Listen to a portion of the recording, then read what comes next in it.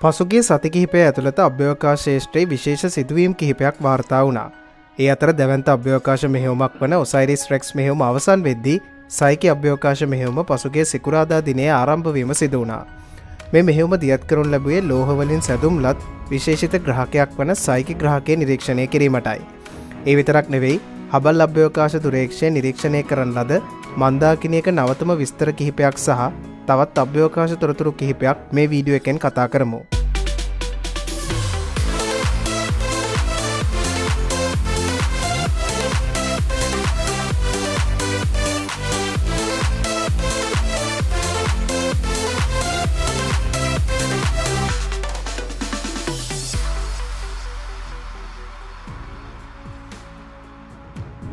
ඔයාලට මතක ඇති බෙනු ග්‍රහකෙන් සාම්පල එකතු කරගත් ඔසයිරිස් රෙක් අභ්‍යවකාශයානාව පෘතුවී ආසන්නයට පැමිණි අවස්ථාවේ එහි සාම්පල ඇතුළත් කැප්සිවලේ පෘතුවයට ලබා දුන්න ආකාරය.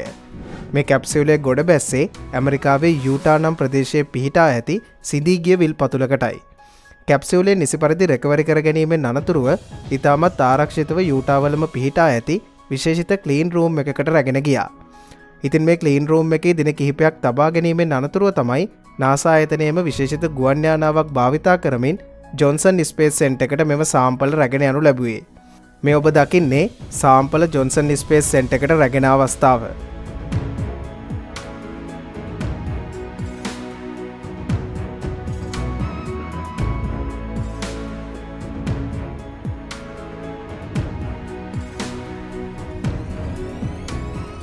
සාම්පල ඇතුළත් ටැක්සෑම් උපකරණය විද්‍යාඥයෙන් විසින් විවෘත කිරීමෙන් පසුව එයින් හරි අඩකට වැඩි ප්‍රමාණයක් ඉදිරි අනාගතයේ පරීක්ෂණ කටයුතු සඳහා වෙන් කර තබනවා. කොටින්ම කිව්වොත් මේ සාම්පල අදින් වසර පණහක් පමණ ගිය පසුයි නැවත පරීක්ෂණ කටයුතු සඳහා නාසා විද්‍යාඥයෙන් ලබාගන්නේ.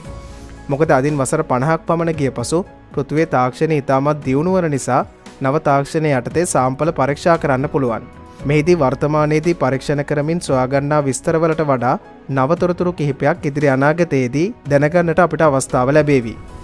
මේ ඔබ දකින්නේ නාසායතනය ඇඩමිනිස්ට්‍රේට බිල් නෙල්සන් මහත්මා විසින් සජීවී සාකච්ඡාවක් අතරතුර සාම්පලවල පින්තූර මාධ්‍යයට ඉදිරිපත් කරපු අවස්ථාවයි.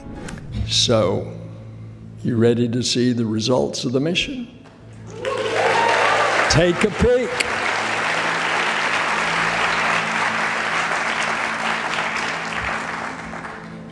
So the first analysis shows samples that contain abundant water in the form of hydrated clay minerals, and they contain carbon. And you could see the carbon there as both minerals and organic molecules.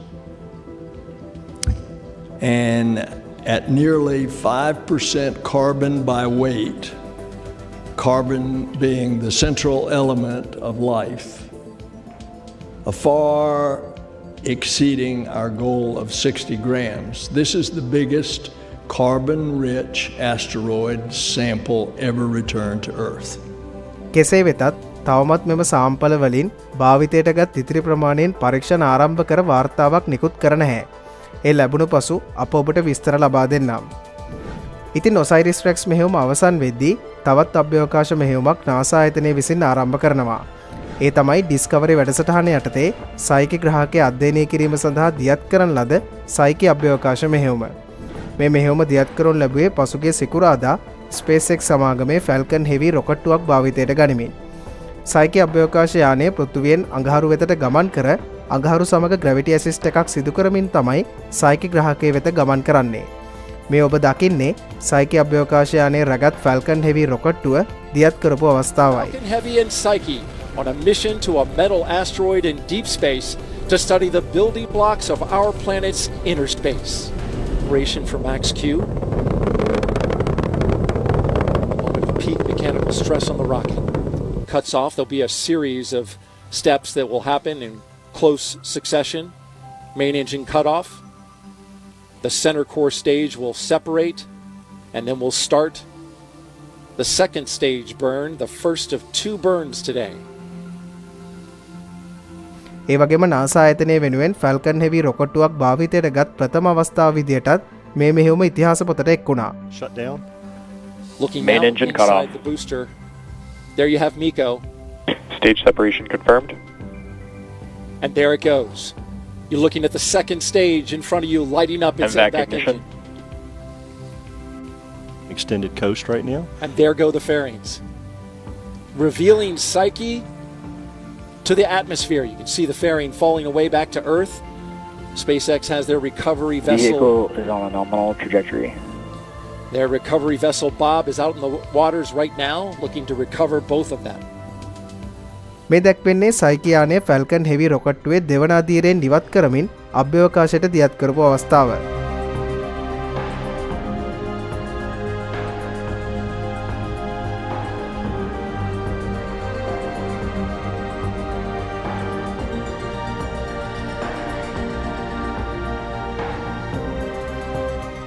දියත් කිරීමෙන් අනතුරුව සොල්ප මොහොතකින් යානය සමඟ සංනිවේදනය ආරම්භ කරන්න විද්‍යාඥීන් හට හැකියාව ලැබුණා.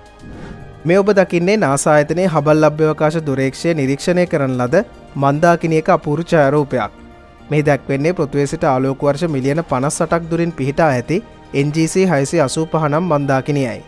මේ මන්දාකිනි අපගේ ශීරපත මන්දාකිනිය වගේම සර්පිලාකාර කාණ්ඩයට අයත්වන අතර එරිඩානස් තාරකා රාශය තුළ තමයි මේ පිහිටා තිබෙන්නේ.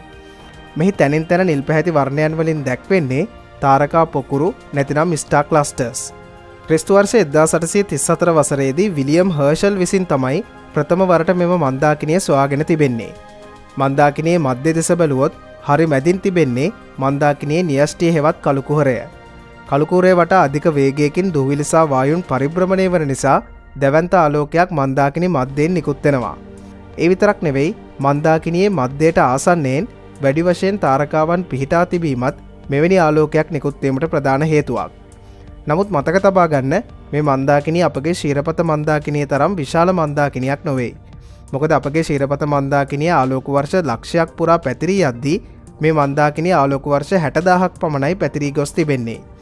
මේ නිසා අපගේ ශීරපතය තුළ තාරකාවන් බිලියන සීයක් පමණ තිබුණත් මේ මන්දාකිනය තුළ තිබෙන්නේ තාරකාවන් මිලියන සීයක් පමණයි. ඉතින් මේ තිබෙන තාරකාවන් ගණන හරියටම බිලියන සීයක් හෝ මිලියන සීයක් ලෙසින් අපට ගණනය කරන්නට බැහැ. අභ්‍යවකාශ දුරේක්ෂවලින් ලබාගන්නා දත්ත පදනම් කර ගනිමින් විවිධ ගණනය කිරීම් මැසුරෙන් ආසන්න වශයෙන් ලැබෙන අගයන් වලින් තමයි තාරකාවන් ගණන විද්‍යාඥයෙන් ප්‍රකාශ කරන්නේ. මේ ඔබ දකින්නේ චීනය අභ්‍යවකාශ නැවතුම් පොලේ ගගනගාමින් පිරිසක් අභ්‍යවකාශයේදී ගිනිදැල්ලක් ක්‍රියාත්මක වන ආකාරය පටිගත කළ අවස්ථාවක්. භ්‍යවකාශ නැවතුම් පොලක් ගිනිබත් කිරීමට පවා හැකියාවක් තිබෙනවා. නමුත් මේ චීන අභ්‍යවකාශ නැවතුම් පොලේ අවධානම අඩු කලාපයක් තුළ සිටිමින් සිදුකර නිසා කිසිදු හානියක් ඇතිවී නැහැ. එහනම් අපි ඊළඟ වීඩියෝ එකෙන් හමුයමු. එතෙක් ඔබට සුබ දවසක්.